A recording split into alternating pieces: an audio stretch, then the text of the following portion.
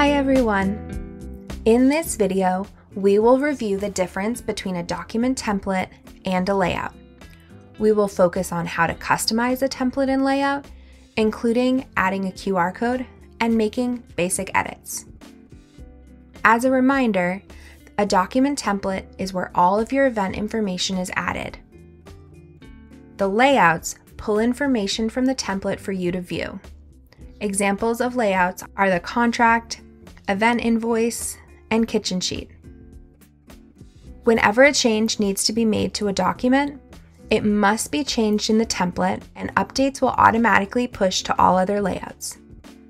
If I need to make a change on a document for a single event, I will do so by heading into the Documents tab of my event. If I need to make a permanent change or any other adjustments for all events moving forward, I need to update the template on the back end in Settings. I need to have the appropriate settings access to edit and customize templates. To get started, I will head to Settings, Documents, so I can show how to adjust them if needed. Here is where I can control all of my templates and layouts. I may only have one set of documents or multiple based on my venue's needs. There are a few reasons why I may want to have more than one document template. Some of those reasons might include templates for my different locations within my group, templates for different types of events, maybe a small private dining event, or even events that require a different billing setup. For example, a catering contract may have a delivery fee, maybe a different service charge, or a special type of contract. It is important to note that if you adjust the template in settings, it is only for documents going forward. If you adjust the layout in settings, it changes all documents past, present, retroactive. If I have online payments enabled, I have the option to enable QR codes on my layouts.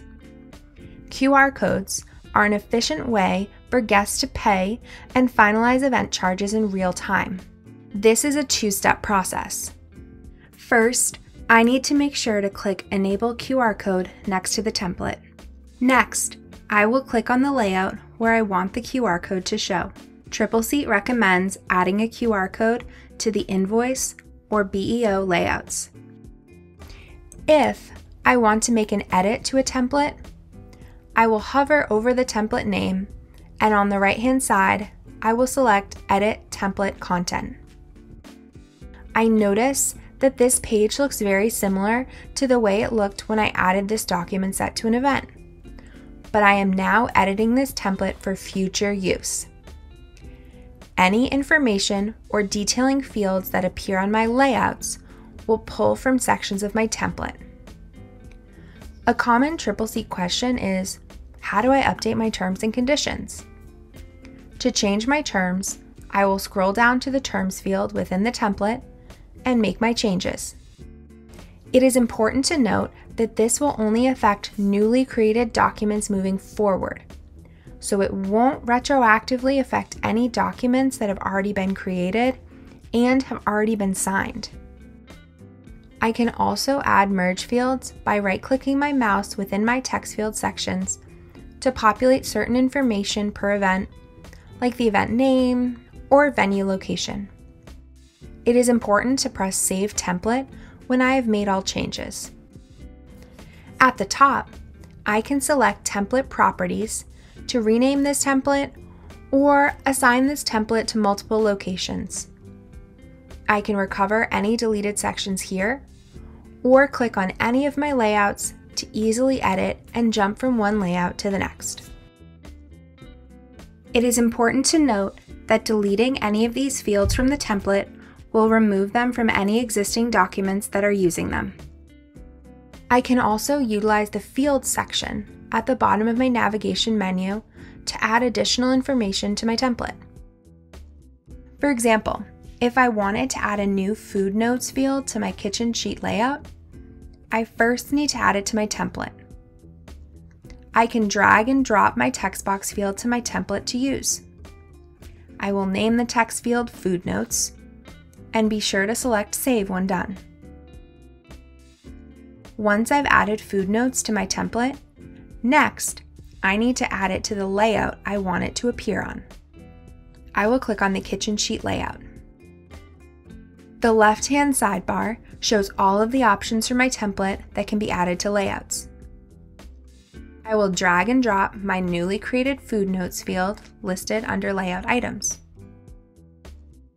Once I place the food notes field where I need it to show, I can click on the text box to make optional adjustments such as adding an embeddable header.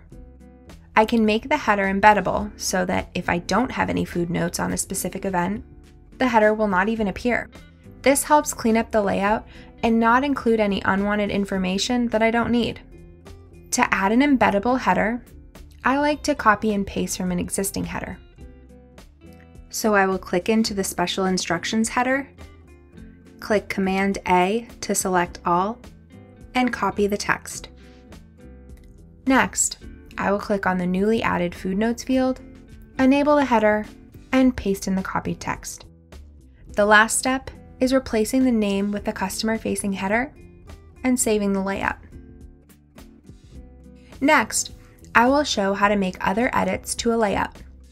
Some reasons why edits might be made to a layout is to adjust the way it looks, rearrange items, or add and remove items that appear in the layout. For example, I will edit the invoice. If I were looking to rearrange items, I can drag and drop where I'd like the fields to appear. I can further customize fields by clicking on the field within the layout to make certain changes, like adding a border or showing the price or quantity. I can change the text alignment, the style, font size, or color, or choose whether I'd like to see the long or short description. If I wanted to remove something from being visible on the layout, I can click on that field and click Remove. I can see all available fields in the Layout Items section on the left. Again, it's important to remember that changes to documents can only be made to the template. If I'm in a text box on a layout and want to make a change, this button is a good reminder of this. I can click on the Edit Content button and it will bring me directly to the template to make this change. For all other types of boxes that I might want to change, I will need to click directly into the template. I can also click on Layout Properties from here to adjust the layout as a whole. I can adjust the layout name, see which locations have access to this layout, modify the font style, size, and a border. I can also make this layout internal for me and my team only, so there will not be a share button available when in the Documents tab of an event. You can also enable QR codes on the layout here. Here, I can also enable the Advanced PDF Converter feature, which allows me to input headers and footers. I can also find the design elements, which are Tripleseat fields.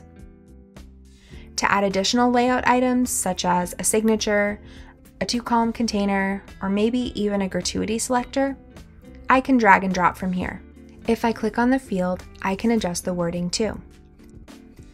Something to note, any change I make to a layout will affect not only newly created documents moving forward, but will also affect documents that have already been created. So in this example, contracts that have already been created will now show the second spot for a signature. And if I were to add further design elements like a divider or a two column container, that would affect the design of past contracts as well. Once set, I will click Save at the top left corner. To make a one-time change to an event, make sure to watch our previous video called Document Templates and Layouts, Front End. Thanks for watching, and if you have any questions, please reach out to the support team, support at tripleseat.com, or by clicking the Help Questions button at the top right corner of any screen in Tripleseat.